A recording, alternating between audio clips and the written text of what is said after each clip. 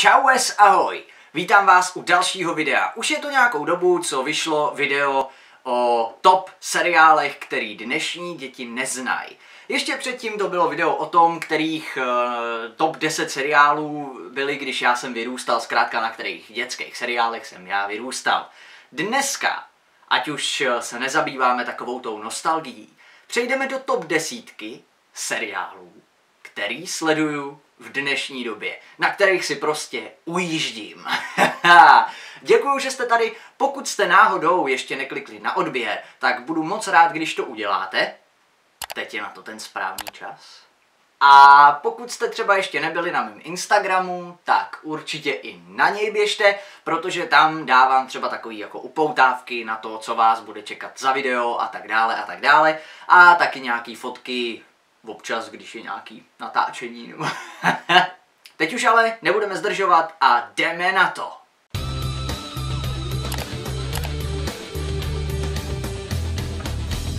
Top desítka. Možná se budete divit, proč Marvelácký seriál řadím až na desátou pozici. Nicméně eh, v tom, když jsem si to připravoval, tak jsem zjistil, že je ještě řada lepších seriálů. A hlavně tenhle má jenom 9 epizod. WandaVision. WandaVision. uh, ano, tenhle seriál mám hrozně rád, ale to, že je na desáté pozici, zapříčinilo hlavně to, že je jenom s českýma titulkama. Já mám strašně rád český dubbing a obzvlášť u těch Marvel filmů, myslím si, že český dubbing je velmi kvalitní a konkrétně tyhle dvě postavy mají hodně dobře zvolený dubbing. Takže mě mrzí, že jsme se zatím toho dubbingu v tomhle eh, seriálu nedočkali, nicméně on vlastně tenhle seriál ani není nikde jako um, úplně veřejně tady v Česku k zhlédnutí, jo, protože vlastně on je na té streamovací platformě Disney+. No a my se teď podíváme na ČSFD. Už ho tady máme. WandaVision, akční komedie romantický sci-fi. 5 hodin 30 minut. Ano, jeden díl má totiž zhruba půl hodiny, někdy víc, někdy o malinko míň, což tady můžeme vidět. Epizod 9, ježišmarja, ČSFD je nějaký úplně nový. Nicméně máme tady samozřejmě i nějaký zajímavosti o tom, spoilery, pozor, tak na ty klikat nebudu. Spoilery dneska vynecháme. Někdy si možná o tomhle seriálu řekneme víc, teď se zkusíme podívat do galerie, jestli tady máme něco takového jako zajímavého, řekněme. Tuhle postavu známe, tohohle e, šikmovokýho, ten byl v Ant-Manovi, ne? Zjistíme. Randall Park, Ant-Man, no jasně, jo a taky v Aquamanovi. Konkuroval. Mezi souvisejícíma je logicky i seriál Falcon a Winter Soldier. Do svý top desítky ho bohužel neřadím. Tenhle seriál, ačkoliv je jako dobrý, tak uh, mě úplně jako nedojal. Jo, není to nic, co bych uh, musel opravdu vidět hned, jakmile epizoda vyjde. Takže proto. Pojďme dál. Ještě malá věc, odkaz na seriál WandaVision najdete u mě v popisku. Top 9. Seriál, který můžete výdat na Netflixu. Možná ho někde i stáhnete, možná se vám to podaří, eh, nebo možná je někde i online. Já se přiznám, že jsem ho nehledal, protože Netflix mám, nicméně moudří už vědí, je to seriál Koruna. Koruna vznikala od roku 2016 a stále vzniká, jak vidíte, až do roku 2022. Uh, jeden díl má zhruba 3 čtvrtě hodiny až hodinu, nicméně sérií to bude mít pět. Čtyři už jsou na Netflixu, pátá se točí a na tu se velmi těším z toho důvodu, že obsazení královny bude úplně jiný. Zahraje si ji totiž má oblíbená Imelda Staunton, neboli Dolores Umbridgeová. Ano, i v tomhle videu trošičku brousíme Harryho Pottera. Top 8. Sákneš se do mě jako déšť a já se vsáknu do tebe. Ano, ano, tenhle seriál, na něj vás můžu odkázat na YouTube. Všechny díly, celé díly. Seriál Comeback řadím do svý top osmičky, já si to tady trošku ztlumím, ať eh, mě to jako neruší. Nicméně eh, od prvního dílu až po 51. Hm, asi nejsou všechny, ne? Tady Slepák 2 x 21, jakože by byly jenom dvě série, já jsem si myslel, že byly tři. ČSFD to jistí. Ne, tak opravdu to byly jenom dvě série, 51 dílů, takže na YouTube jsou všechny. Je to legendární český sitcom, uh, myslím si, že dlouho ho nic jakoby nepředčí, uh, kromě dalšího, který bude někde okolo top 3 možná. Tak to je taková malá upoutávka, abyste zůstali až do konce videa. Teď jdeme na další pozici. Top 7. Vy víte, že mám hrozně rád detektivky a zejména ty od Agáty Christie.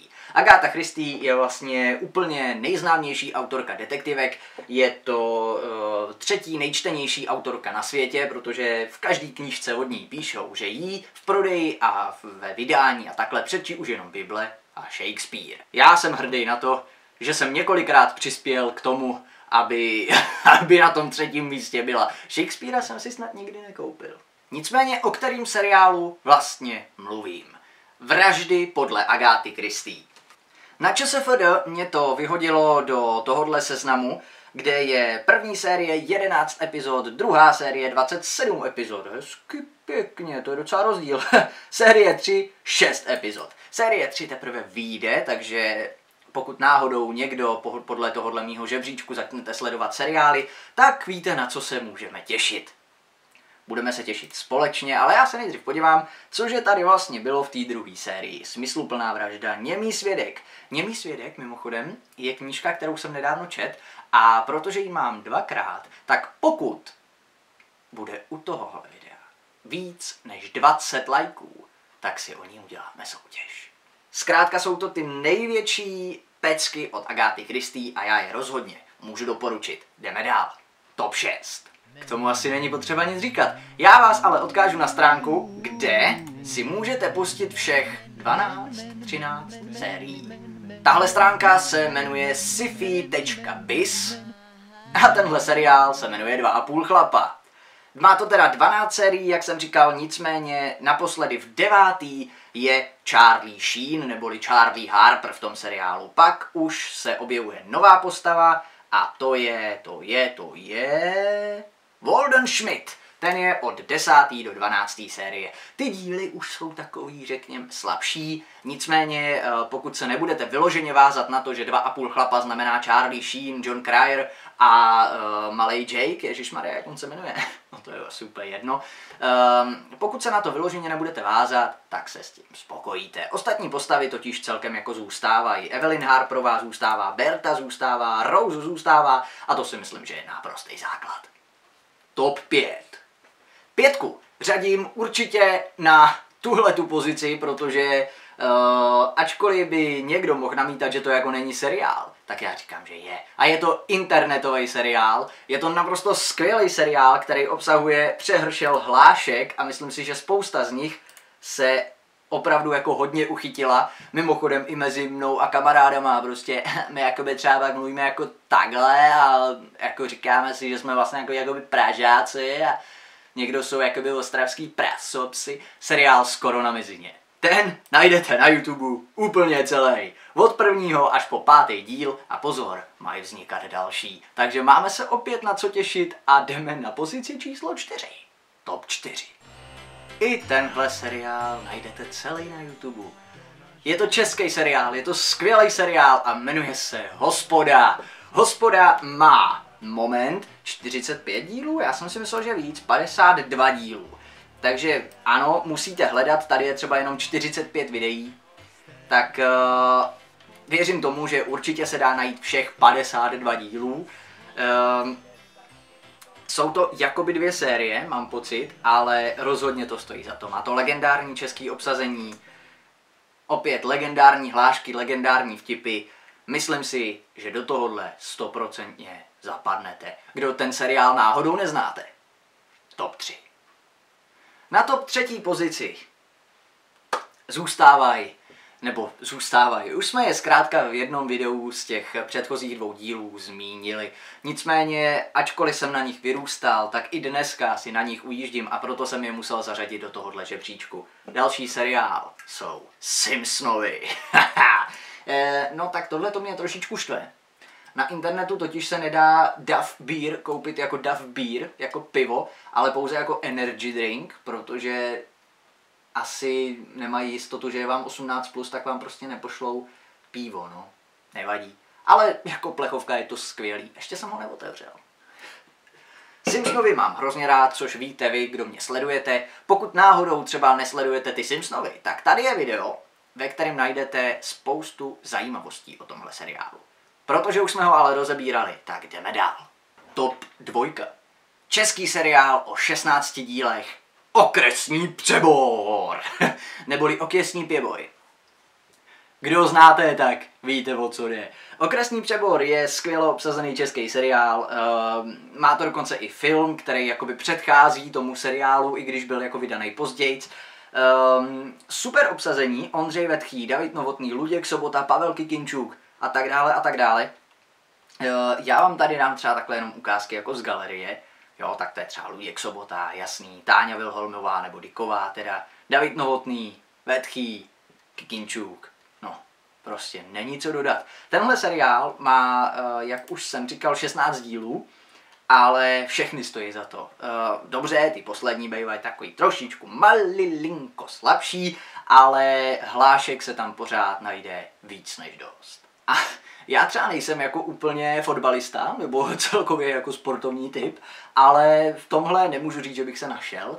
Spíš bych tak řekl, co bych tak řekl? Strašně se mi to prostředí zalíbilo a protože scénář napsal Petr Kolečko, stejně jako k seriálu Skoro na mizině a stejně jako k dalším sportovním filmům třeba, nebo seriálům, tak eh, je to hrozně dobře propracovaný, vtipný, eh, má to prostě takový ty super special fotbalistický výrazy, který jako normální lidi prostě neznají. A když pak přijdete třeba mezi fotbalisty, protože můj dobrý kamarád je fotbalista, tak um, když vám potom jako vysvětlí, co to znamená, nebo když jste mezi těma fotbalistama, jo, a teď slyšíte ty výrazy a říkáte si, ty vole, tohle bylo v okresním přeboru, to já mám hrozně rád. Top 1. Nejúžasnější seriál dnešní doby v mém žebříčku jsou Přátelé. Přátelé mají dokonalý český dubbing a ačkoliv už je to starý seriál, um, tak uh, pořád je to vlastně aktuálně, je to strašně nadčasový, je to strašně skvělý, má to 10 sérií a všechny je najdete na téhle stránce nike.net. Uh, věřím tomu, že minimálně uh, všichni z vás na ten seriál aspoň náhodou narazili, třeba při přepínání televize, protože ještě pořád to jede snad na, na Smíchově, nebo on už to není Smíchov, že jo? No, prostě na této stanici. Uh, každopádně tam ačkoliv to jede za sebou, tak ono to jede furt od začátku a furt se to opakuje, tak možná je opravdu lepší, pokud eh, nechcete, aby vám žádný z těch dílů uniknul, najít si tuhle stránku a prostě to skouknout od začátku do konce. Já jsem schopný za jeden den šoupnout klidně 12 dílů. Vůbec mi to nevadí, což je většinou tak polovina jedné řady. A přesto jsem to ještě nedokoukal kompletně celý. Proto to řadím na první pozici, protože stále na tom ujíždím. Mimochodem, kdo ten seriál třeba máte rádi taky, tak uh, už hodně dlouho se mluví o tom, že má vzniknout vlastně sequel, pokračování přátel, že se mají sejít po letech a vlastně jako bude nová epizoda. Teď uh, zase se trošičku naznačilo, že možná bude víc těch epizod, možná vznikne nová řada. Uh, někdo tvrdí, že film, uvidíme, musíme se nechat překvapit a hlavně si musíme počkat. Všechno nám to komplikuje koronavirus. A proto jsem rád, že to nekomplikuje vydávání mých videí. Naopak, pokud tedy ještě nemáte odběr, tak ho určitě dejte, já vám za to budu strašně rád, protože mi to hrozně moc pomůže, udělá mi to obrovskou radost a budu rád taky za like pod tohle video, což už jsem říkal. Říkal jsem taky to, že pokud jich tady bude 20 a víc, tak vás čeká soutěž. Teď už teda nezbývá, než se rozloučit a na závěr vás ještě poprosím, abyste mi i vy do komentářů napsali svůj žebříček těch nejlepších seriálů. Já se nechám inspirovat a půjdu na ně. Mějte se pěkně, čau ahoj!